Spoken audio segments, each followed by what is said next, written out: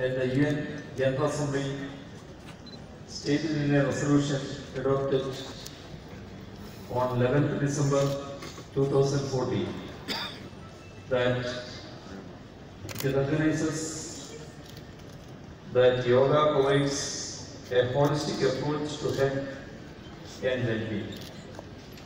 Thus, it proclaimed 21st June as the International Day of Yoga with an aim to ensure the wider dissemination of information about the benefits of practicing yoga.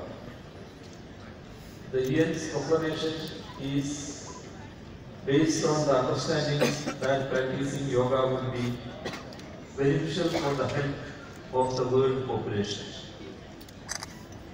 Yoga means to join or to unite, symbolizing the union of body and mind. Buddhism had propagated yoga as a means to control one's body and mind. Swami Vivekananda used to share the benefits of yoga to youngsters in an effort to energize their bodies and minds to take up daunting tasks.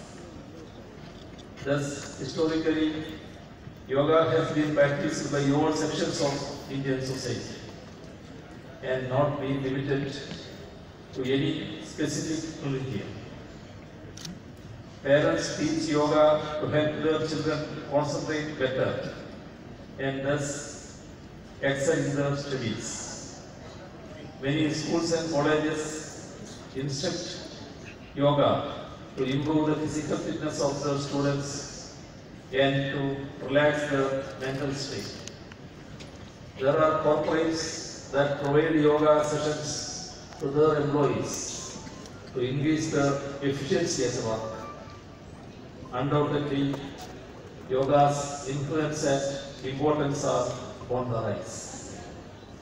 Today, yoga is practiced in various forms around the world and continues to grow in popularity both in the East and the West.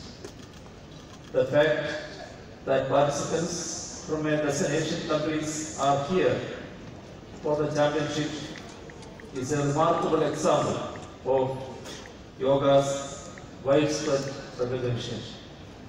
Its universal appeal is due to the fact that it is not merely a method of exercise to achieve physical fitness, but it is a lifestyle choice that helps one to achieve the harmony of body and mind.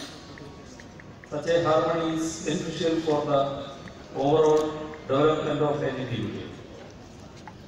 When organizations such as the UN vouches for Yoga's credentials as a means to achieve good health and well-being, it means that the world is looking towards India to fresh insights of methods to achieve world health.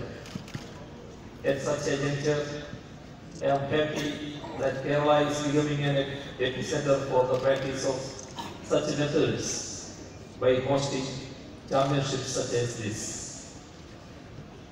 Let me take this opportunity to extend a warm welcome on behalf of the state government to all the officials and participants who have come here from abroad. I hope you will have a pleasant stay here in Kerala, the land popularly known as God's Own I wish all the participants the very best and uh, I declare the 8th Asian Yoga Sports Championship 2018 at Thiruvananthapuram, Kerala, India open. Thank you. And now the flag